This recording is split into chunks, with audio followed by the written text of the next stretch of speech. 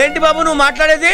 వంద ఎకరాల మాగాణి యాభై ఎకరాల కొబ్బరి తోట రెండు ఎకరాల చేపల చెరువులు మూడు ఎకరాల రొయ్యల చెరువులు ఉన్న మావాడిని మీ అమ్మాయికి ఇచ్చి చేయాలా? అవన్నీ లేవని నువ్వేగా చెప్పావు? అప్పుడు ఎప్పుడో చెప్పామండి. ఇప్పుడు మా వాడు చేస్తున్న ఉద్యోగం ఏంటి? బాటా కంపెనీలో ఎక్స్ట్రాండరీ ఉద్యోగం చేస్తున్నాడు.